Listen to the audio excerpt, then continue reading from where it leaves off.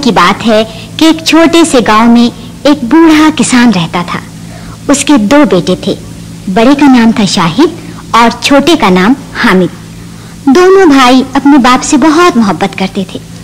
वो जब बड़े हुए तो एक दिन बूढ़े किसान ने उनसे कहा, मेरे बच्चों, मैं अब बूढ़ा हो चुका हूँ। मेरी ज़िंदगी का कोई ठीक नहीं है। मैं चाहता हूँ कि तुम दोनों मिलकर खेत वगैरह का सारा काम अपने जिम्मे ले लो। अच्छा बाबा। हम कल से ही खेत पर जाना शुरू कर दें। इतनी जल्दी नहीं मेरे बच्चों। मेरी ख्वाहिश है कि पहले तुम दुनिया की सैर कर लो अच्छी तरह से घूम फिर लो फिर वापस आकर काम शुरू करना। जो आपकी मर्ज़ी बाबा। बाबा हम कल ही रवाना हो जाए। हाँ बच्चों।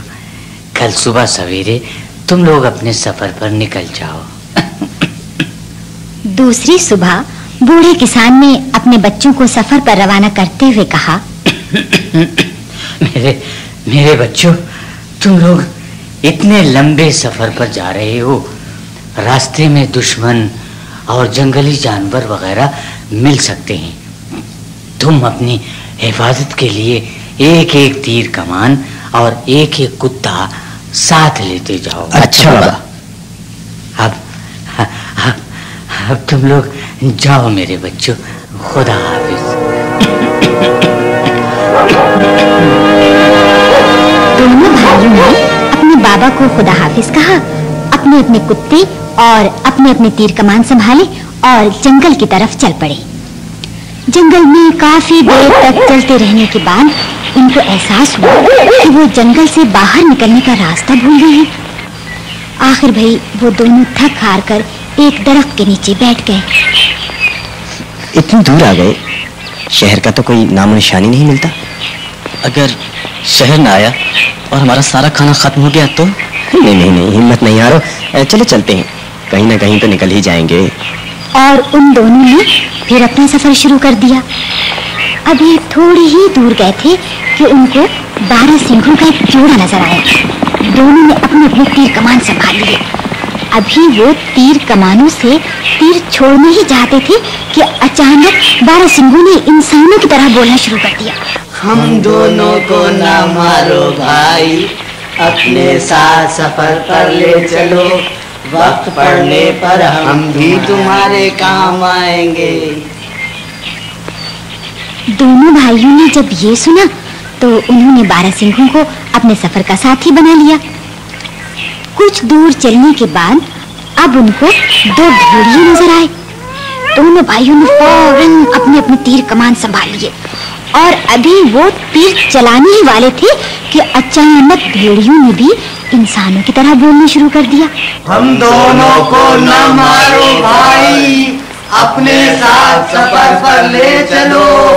वक्त पड़ने पर हम भी तुम्हारे काम आएँगे। अब जो शाहिद और हामिद ने ये सुना तो दोनों भेड़ियों को भी अपने साथ ले लिया। थोड़ी ही दूर जाने के बाद, अब उनको दो प्यारे प्यारे घोड़े नज़र आए। दोनों भाइयों ने एक साथ अपने तीर कमान संभाल लिए। और घोड़ों पर हमला करने ही वाले थे कि अचानक उन घोड़ों ने भी इंसानों की तरह बोलना शुरू कर दिया। हम दोनों को न मारो भाई अपने साथ सफ़र पर ले चलो। वक्त पड़ने पर हम भी तुम्हारे काम आएँगे। दोनों भाइयों ने जब ये सुना तो उन्होंने घोड़ों को भी साथ ले लिया और इस तरह शाहिद हामिद को अपने अपने वफादार कुत्तों के साथ साथ एक एक बारह सिंगे एक एक भेड़िए और एक एक घोड़े का साथ भी मिल गया और उनका सफ़र तेज़ी के साथ तय होने लगा। आखिरकार सफ़र करते करते वो एक ऐसी जगह पर पहुँच गए जहाँ से दो रास्ते अलग अलग जाते थे। अब उन्होंने सोचना शुरू कर दिया कि भाई किस तरफ़ जाया जाए? मेरे ख्याल में सीधे हाथ वाला रास्ता ठीक है। हम्म मैं समझता हूँ उल्टे हाथ वाला रास्ता सही रहेगा। अच्छा तो ऐसा करते हैं तुम उल्टे हाथ वाले रास्ते पर रवाना हो जाओ और मैं सीधे हाथ वाले रास्ते पर चला जाता हूँ। हाँ ये ठीक है। अच्छा और सुनो ये सामने बरगद का दरख्त है ना इसमें हम दोनों अपने अपने चाकू खोप देते हैं। जो भाई तकलीफ़ में होगा उसके चाकू पर जंग लग जाएगा। और इस तरह हम एक दूसरे की मदद को पहुँच जाएँगे बिल्कुल ठीक। तो फिर निकालते हैं अपने अपने चाकू। आ, ये लो भाई ये रहा मेरा चाकू और ए, ये रहा मेरा चाकू। अच्छा भाई हामिद। मैं चलता हूँ खुदा हाफिज। अच्छा खुदा हाफिज। इस तरह वो दोनों अपने अपने तीर कमान कुत्ते बारह सिंगे भेड़िए और घोड़ों को लिए अपने अपने रास्तों पर चल पड़े। बड़ा भाई शाहिद सीधे हाथ वाले रास्ते पर चलता रहा। कई दिन तक इसी तरह चलते रहने के बाद उसे जंगल में एक अजीब सा महल नज़र आया। इस जंगल में इतना बड़ा महल? कितनी ऊँची दीवारें हैं। और मीनार तो अरे तो बादलों तक पहुँच गया है। मगर ये खाली क्यों पड़ा है? कहाँ गए सब लोग? अचानक एक खिड़की खुलने की आवाज़ आई। अरे ये खिड़की और खिड़की में खूबसूरत लड़की कौन है? लिबास से तो बिल्कुल शहजादी मालूम होती है। मैं चलकर इससे पूछता हूँ। सुनिए ये कैसा महल है? सिपाही नौकर चाकर हाथी घोड़े बादशाह सलामत के सब लोग कहाँ हैं? आप कौन हैं और यहाँ अकेली क्यों हैं? मेरा हाल पूछकर क्या करोगे मुसाफिर? मैं इस महल की बदनसीब शहजादी हूँ। बादशाह सलामत और महल के तमाम लोग पत्थर के बन चुके हैं। अरे कैसे? क्या बताऊँ मुसाफिर? इस जंगल में एक हिरनी रहती है जो कभी कभी नज़र आती है। पता नहीं उस कमबख्त में क्या जादू है कि जो कोई उसके पीछे जाता है वापस नहीं लौटता। पत्थर का बन जाता है। ये तो अजीब बात है। क्या आप ये सब लोग दोबारा ज़िंदा नहीं हो सकते? क्यों नहीं हो सकते? अगर कोई बहादुर इंसान आए और उस हिरनी को मार डाले तो फिर सबको दोबारा ज़िंदगी ज़रूर मिल सकती है। अब मैं आ गया हूँ शहजादी साहिबा। आप बिल्कुल फ़िक्र न करें। मैं और मेरे साथी सफ़ेद हिरनी को अभी मार कर आते हैं। शाहिद महल से थोड़ी ही दूर गया था कि अचानक एक झाड़ी के पीछे उसे वो सफ़ेद हिरनी नज़र आ गई। बस उसने अपना घोड़ा फ़ौरन उसके पीछे लगा दिया। मगर देखते ही देखते हिरनी उसकी नज़रों से गायब हो गई। शाहिद थक गया था। उसको प्यास भी लग रही थी। उसने इधर उधर नज़र दौड़ाई। तो उसको छोटी छोटी पहाड़ियों के बीच में एक छोटी सी झोपड़ी नज़र आई, जहाँ एक बुढ़िया बैठी हुई थी। कितनी बदसूरत है ये बुढ़िया इसकी ये नाक ओह कितनी खौफनाक है अरे मुझे खैर छोड़ो मगर मुझे क्या मुझे तो प्यास लगी है चलकर पानी माँगता हूँ ये कहकर शाहिद बुढ़िया की तरफ़ चला।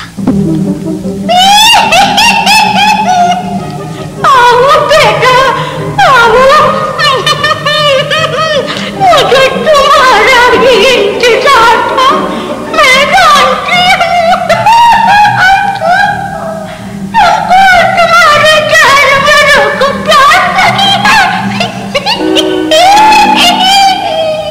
जानवर ना कहिए इनको। ये मेरे साथी हैं।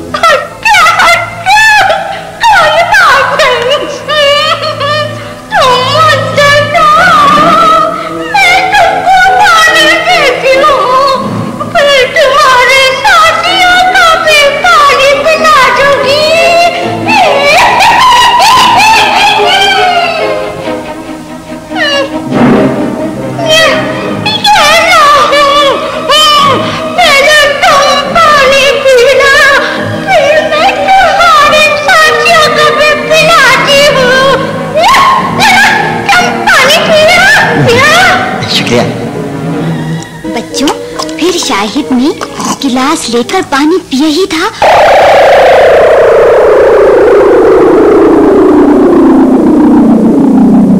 कि वो पूरे का पूरा पत्थर का बन गया। और फिर उसने बाहर जाकर एक एक करके सब जानवरों को पानी पिला दिया, जो पानी पीते ही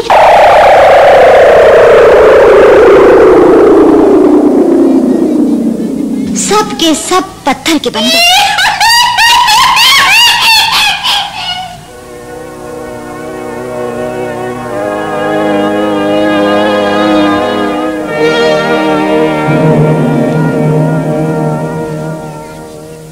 बच्चों उधर छोटा भाई हामिद कई दिनों तक सफ़र करने के बाद एक शहर में पहुँचा। इतना बड़ा शहर इतना अच्छा महल आसपास इतने लोग हैं मगर ये सब के सब इतने उदास क्यों हैं? कोई किसी से बात क्यों नहीं करता? उसने जब वजह मालूम करनी चाहिए तो किसी ने भी जवाब नहीं दिया। हामिद आहिस्ता आहिस्ता बादशाह के महल के करीब पहुँच गया। उसने देखा चंद सिपाही सर झुकाए खड़े हैं। हामिद ने जब उनसे सवाल किया तो उनमें से एक सिपाही ने जवाब दिया पूछकर क्या करोगे भाई? हमारे रहमदिल बादशाह पर एक मुसीबत आन पड़ी है। कैसी मुसीबत?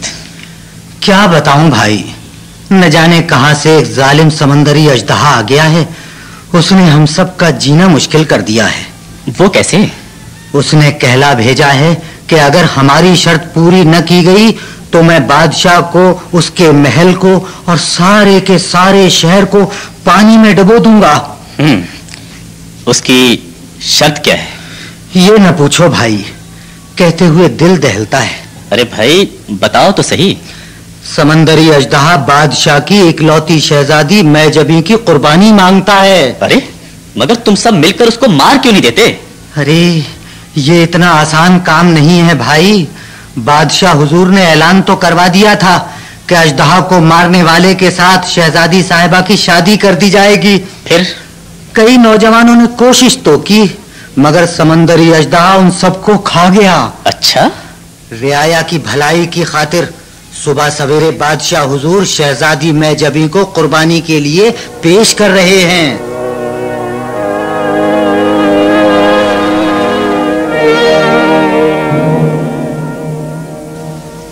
बच्चों हामिद ने जैसे ही ये सुना वो सीधा एक लोहार की दुकान पर पहुँचा। भाई लोहार भाई लोहार मुझे दो वाली एक बड़ी सी तलवार चाहिए। किस काम के लिए मुसाफिर ये तो कल ही मालूम होगा। तुम जल्दी से तेज धार वाली तलवार बना दो। दूसरी सुबह सूरज निकलने से पहले हामिद अपने साथियों के साथ समंदर के नज़दीक एक बड़े से पत्थर के पीछे छुपकर बैठ गया। थोड़ी ही देर के बाद हामिद को शाही बग्घी समंदर की तरफ़ आते हुए नज़र आई। बग्घी समंदर के करीब आकर रुक गई। बग्घी का दरवाज़ा खुला। शहजादी मैं मैजबी उतरी।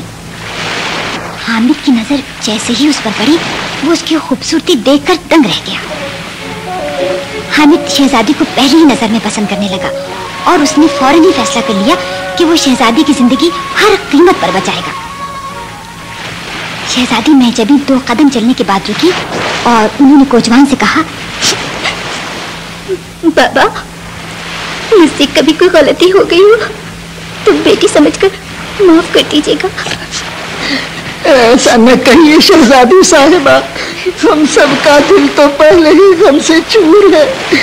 बादशाह सलामत को अपने आवाम से न जाने कैसी मोहब्बत है जो आप जैसी नेक दिल शहजादी को कुर्बान कर रहे हैं। खुदा हाफिज बाबा खुदा हाफिज। खुदा हाफिज। अल्लाह आपकी मदद करे शहजादी साहिबा। और मैं जबी धीरे धीरे समंदर की तरफ़ बढ़ने लगी पानी के करीब पहुँच गई तो ऊँची आवाज़ में कहा, समंदरी शहजादी महजबी कुर्बानी के लिए हाजिर है। समंदर में बड़ी ज़ोर का तूफ़ान आया। चारों तरफ़ जैसे अंधेरा सा छा गया, तेज हवाएँ चलने लगी और और एक बहुत ही खौफनाक तीन सरों वाला अजदहा समंदर के अंदर से बाहर निकला। शहजादी महजबी ने आसमान की तरफ़ देखा और अपनी आँखें बंद करी तू ही मेरी मदद कर, या अल्लाह। को देखते ही हामिद अपने साथियों को इशारा किया और पत्थर के पीछे से निकलकर सामने आ गया। तीन सरों वाला अजदहा आहिस्ता आहिस्ता शहजादी की तरफ़ बढ़। रहा था उसकी जबान बाहर निकलती तो आग का शोला सा लपक जाता। ललचाई नज़रों से शहजादी की तरफ़ देख रहा था। शहजादी महजबी चुपचाप खड़ी अपनी मौत का इंतज़ार कर रही थी। समुद्री अजदहा शहजादी पर हमला करने ही वाला था कि हामिद और उसके साथियों ने एक साथ मिलकर उस पर हमला कर दिया।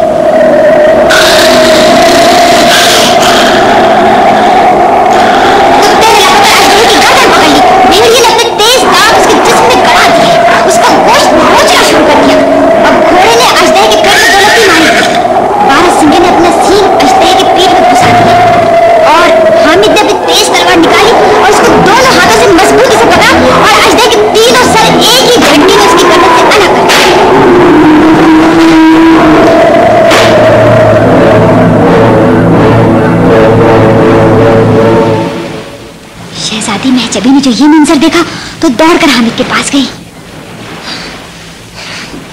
मैं आपका शुक्रिया कैसे अदा करूँ बहादुर नौजवान?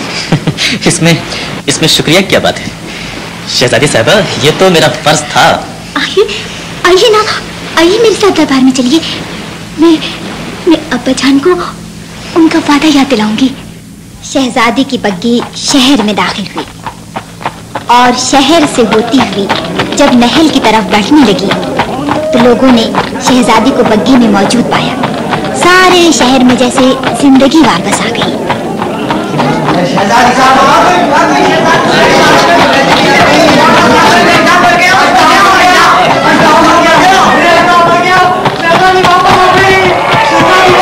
शहजादी महल में पहुँचते ही कोचवान और हामिद को लिए सीधे बादशाह सलामत के पास गई मेरी बच्ची मेरी शहजादी तुम ज़िंदा हो मेरे भी मेरी बच्ची मेरी बच्ची तुम ज़िंदा हो। हाँ हाँ मारा गया। कैसे कैसे मेरी बच्ची? किसने मारा? कहाँ है वो बहादुर नौजवान? सरकार ये है वो नौजवान जिसने हमें जालिम अजदह से निजात दिलाई। शाबाश नौजवान शाबाश। यहाँ आओ हमारे करीब आओ नौजवान। हम तुम्हारी बहादुरी से बहुत खुश हुए।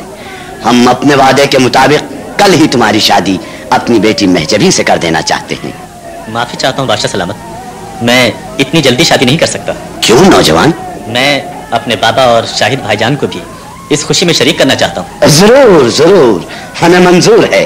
हमें तुम्हारी शर्त मंजूर है नौजवान। जाओ उन्हें लेकर आओ। हम तुम्हारा इंतज़ार करेंगे। शुक्रिया बादशाह सलामत।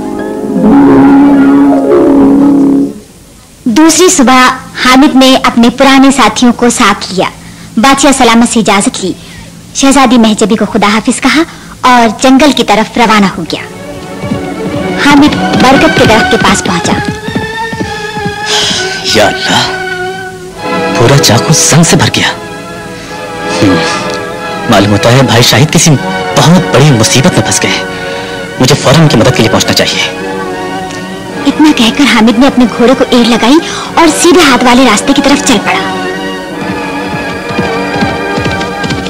कई दिनों के सफ़र के बाद उसे भी जंगल में वही अजीब सा महल नज़र आया। इस जंगल में इतना शानदार महल? मगर यहाँ इतनी उदासी क्यों है? हर तरफ़ सन्नाटा छाया हुआ है। अचानक वही खिड़की खुलने की आवाज़ आई अरे खिड़की में ये कौन है? इन्हीं से चलकर पूछता हूँ। सुनिए यहाँ इतनी खामोशी क्यों है? सब लोग कहाँ हैं? शहजादी ने रोते रोते पूरी बात हामिद को बताई और कहा थोड़े दिनों पहले तुम्हारी तरह एक और नौजवान भी आया था। हम्म? उसके पास भी तीर कमान बारह सिंगा भेड़िया घोड़ा और कुत्ता था। वो भी हिरनी के पीछे गया था। मगर वापस ना आया। शायद शायद पत्थर का बन गया। शाहिद भाई ज़रूर शाहिद भाई होंगे। मैं उस कमबख्त सफ़ेद हिरनी को ज़िंदा नहीं छोड़ूँगा। हामिद फ़ौरन घोड़े की पीठ पर बैठा और सफ़ेद हिरनी की तलाश में निकल पड़ा। अभी थोड़ी ही दूर गया था कि अचानक एक झाड़ी के पीछे उसे सफ़ेद हिरनी नज़र आई। हामिद ने अपना घोड़ा उसके पीछे लगा दिया। काफ़ी दूर तक पीछा करने के बाद सफ़ेद हिरनी अचानक नज़रों से गायब हो गई। हामिद अब थक चुका था। उसे प्यास भी लग रही थी। उसने इधर उधर नज़र दौड़ाई।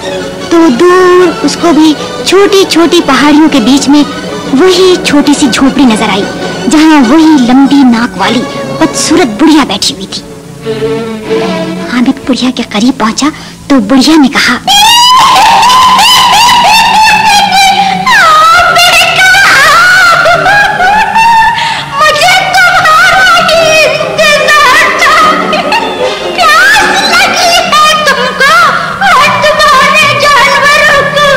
जानवर ना कहिए। ये मेरे साथी हैं। वक्त पड़ने पर मेरी जान बचाते हैं। हामिद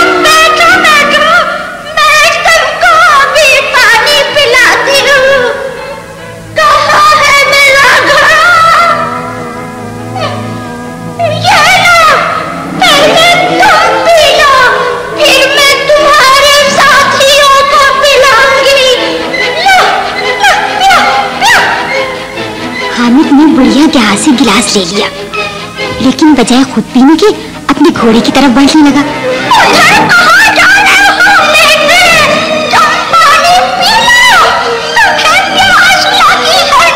मुझसे ज़्यादा मेरे साथियों को प्यास लगी देखिए ना सब के सब कैसी नज़रों से पानी की तरफ़ देख रहे हैं मैं तो बाद में पीऊँगा ये कहकर बुढ़िया हामिद की तरफ़ लपकी। हामिद दो कदम पीछे हट गया। वो समझ गया कि पानी में ज़रूर कोई ना कोई बात है। उसने इधर उधर देखा, उसी ज़मीन पर एक बड़ा सा मिट्टी का प्याला नज़र आया। वो दौड़कर उसके पास गया और सारे का सारा पानी प्याले में उंडेल दिया।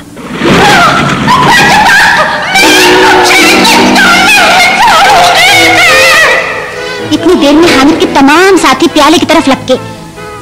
बच्चों उनका पानी का पीनू ही था कि तमाम के तमाम एक एक करके पत्थर के बन गए अपने वफादार साथियों का ये हाल देखकर हामिद गुस्से के मारे कांपने लगा। बदजात बुढ़िया! तू! ये तू है जिसने सबको पत्थर का बना दिया। मैं मैं तुझे ज़िंदा नहीं छोड़ूँगा।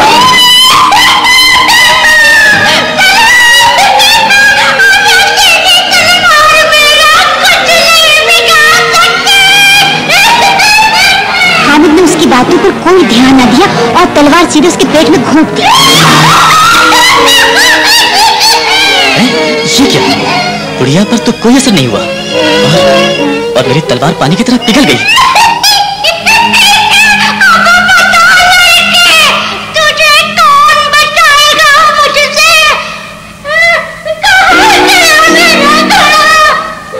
बुढ़िया तेज़ी से घड़े की तरफ़ बढ़ी हामिद ने सोचा अगर घड़े का पानी किसी तरह बुढ़िया को पिला दिया जाए तो हो सकता है ये भी पत्थर की बन जाए।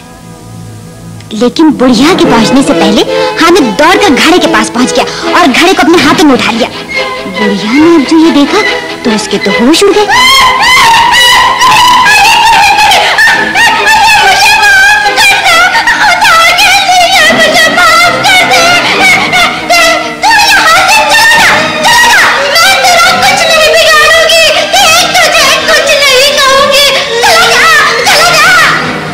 हामिद ने जब बुढ़िया का ये हाल देखा तो उसे यकीन हो गया कि घड़े का पानी बुढ़िया को भी पत्थर का बना सकता है। उसने बुढ़िया को पकड़ना चाहा कि पानी उसे पिला सके। बुढ़िया भागती रही और खानद उसका पीछा करता रहा। आखिर काफ़ी भाग दौड़ के बाद हामिद ने बुढ़िया को पकड़ ही लिया। और वो उसको पानी पिलाना ही चाहता था कि बुढ़िया ने अपने हाथ से झटका मारा और घड़ा हाथ से छूटकर ज़मीन पर गिर गया। सारे का सारा पानी ज़मीन पर बह गया। बुढ़िया ने वहाँ से भागना चाहा तो अचानक उसका पैर फिसला और वो मुँह के बल वही जा गिरी जहाँ पानी गिरा हुआ था। बुढ़िया के जिस्म का पानी के साथ लगना था कि एक बड़े ज़ोर का तूफ़ान आया।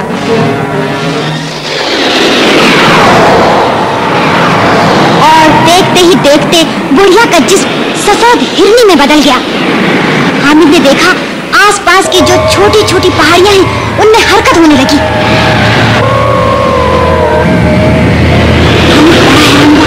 उसने मुड़कर जब बुढ़िया यानी सफ़ेद हिरनी की तरफ़ देखा तो और भी हैरान रह गया। बुढ़िया यानी सफ़ेद हिरनी का जिस्म धुएँ में बदल चुका था और एक गोल दायरे की शक्ल में आसमान की तरफ़ जा रहा था।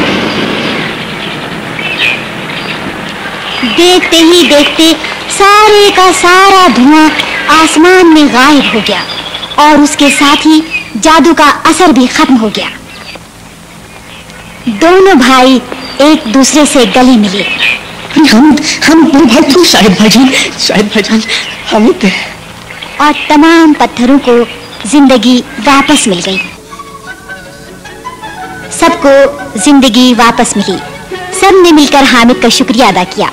बूढ़ा बादशाह जो पत्थर का बन चुका था, उसको भी जब नई ज़िंदगी मिली तो उसने अपनी शहजादी की शादी शाहिद से कर देनी चाहिए। मगर उसने भी अपने बाबा की शर्त लगा दी, जिसे बादशाह ने बखुशी मंजूर कर लिया। दोनों भाई गाँव गए, अपने बाबा को साथ लिया। पहले बड़े भाई शाहिद की शादी हुई, फिर छोटे भाई हामिद की। और इस तरह ये सब लोग हँसी खुशी ज़िंदगी के दिन गुजारने लगे।